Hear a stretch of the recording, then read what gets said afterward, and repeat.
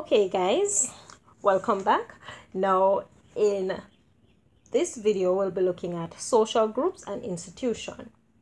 Now we're still we're underneath the topic of social groups and institution right? Now first we must ask what are social groups? A social group can be defined as a group that consists of two or more people. Now this involves communication, interaction with each other, and as you know, they normally have the same interest. Now, social groups can be found in different areas or section of society, right? And normally have a greater or strong influence on its members. Now, you might not know, but a group and a social group are different. Say, for instance, you might have a group of teenagers who meet every Friday evening for studies with the aim of passing a test. Now, that would be considered a social group.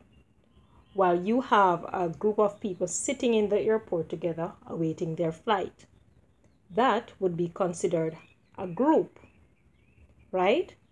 Now, this is normally temporary. The group is normally temporary. A social group is more. It can be temporary, but on a long term basis as well as it is it can be permanent. Right. So learn the difference guys. Right? All right so we are going to go into types of social groups. Now types of social group this includes first up first up we have the primary social groups. Right? Second we have the secondary social groups Third, we have formal and informal groups, right? Now we'll be looking in these in detail.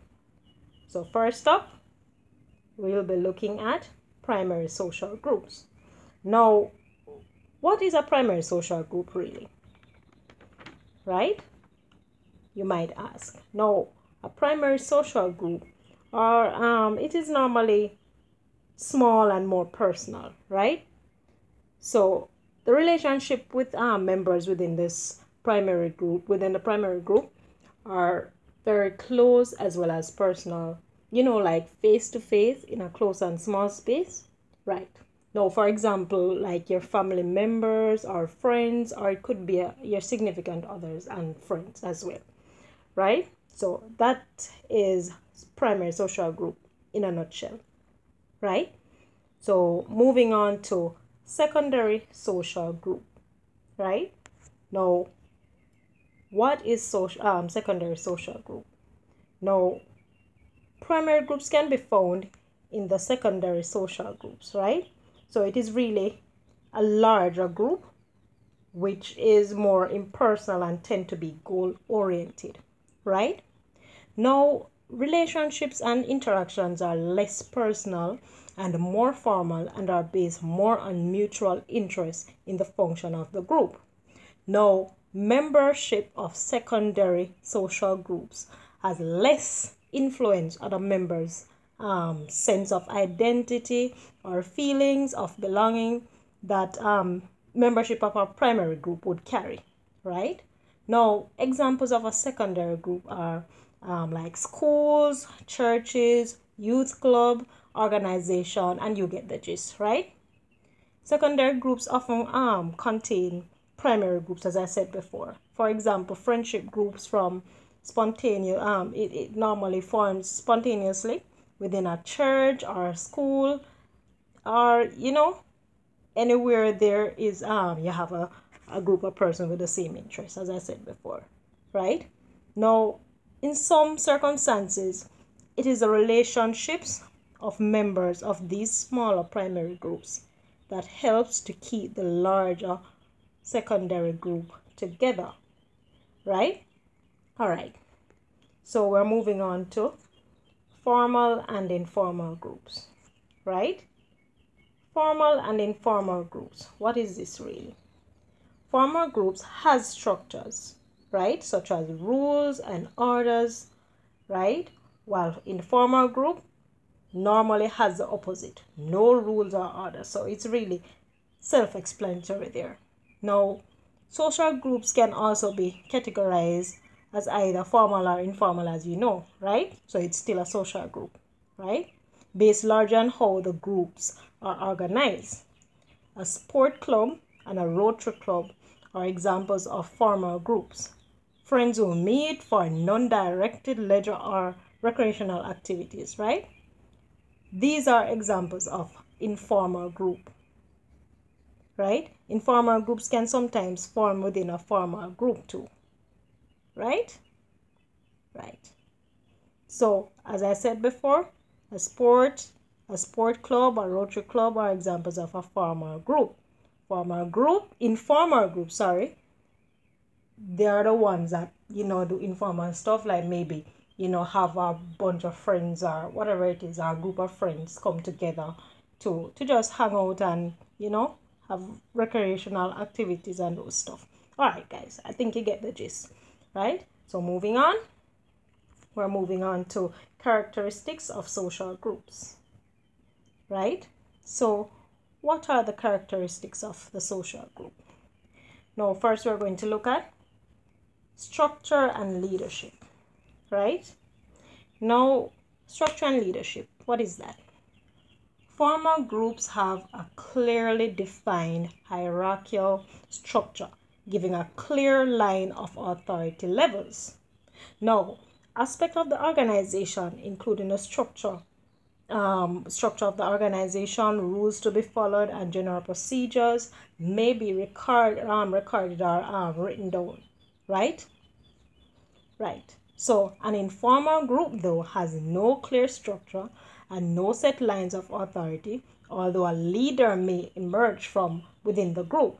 Now, this person will not have a formal authority, but will create ideas, motivate others, and make things happen. But it is not formal. Right? So, next up, we're going to look at membership. Membership of a social group is either voluntary or involuntary. In um, the voluntary membership, individuals use their own criteria to decide whether or not to join a group. While you have involuntary membership of a group occurs when um, an individual has no choice about being a member as when, you know, people are born into a particular family or society, they have no choice, right? So that's involuntary. Right. So next up, we're going to look at marks of identity. Marks of identity. What is this? Right? Many groups have a way of um, marking out members from non-members, right? Uniforms are an obvious example and are used by schools, scout and guide groups, sports, drama, and dance clubs, right? The armed forces, the police, and other emergency services also have uniforms to distinguish them from the members of the public, right? So that is um, those are marks of identity, uniforms, badges, whatever it is, right? So next up, we'll be looking at behavior, right? All social groups develop expectations for behavior. For example, even members of um, informal friendship groups expect other members to be honest, right? They expect them to be honest, open, and respectful, whether it's formal or informal, right? In a formal group, the rules are more likely to be formulated, agreed, and written down.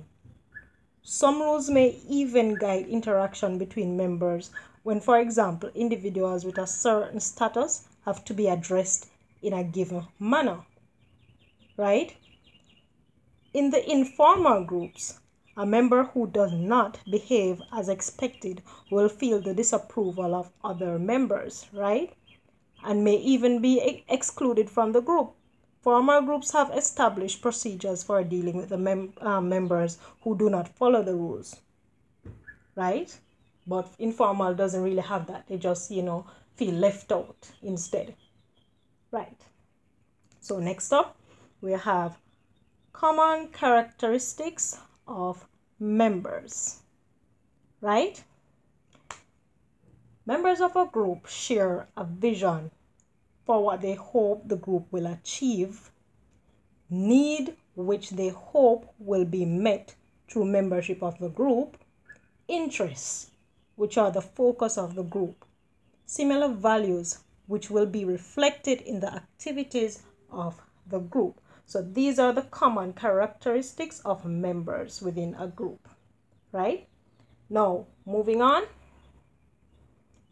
Next up, we'll have special social groups. What are these? Special social group. First up, we have the peer groups, right? Now, a peer group is made up from people who are of similar age, from similar backgrounds, who share experiences. Now, interests and values are very important within the peer group as well. Now, peer groups often consist of friends, but this is not always the case. Your class is a peer group, but this doesn't mean that all the class members are friends, right? So you get what the um, peer group is about. Right. So moving on. Next we have pressure groups. What are pressure groups? All right.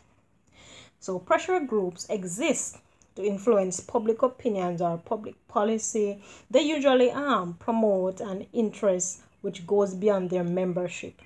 Examples of pressure groups um, can include um, those set up to lobby government to introduce um, a health measure or such as smoking ban or maybe to promote an end to a certain kind of discrimination or to protect environmental um, sensitive areas, right? So those are pressure groups going out for people, right? Or going out for a certain cause, right?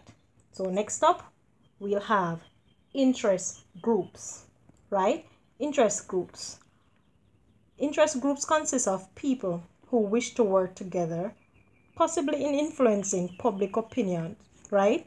Or in lobbying government as well, in protect in protecting a particular interest um, or benefit they have right? Professional or National Association of Hotel Owners, manufacturers of food producers are example of interest groups.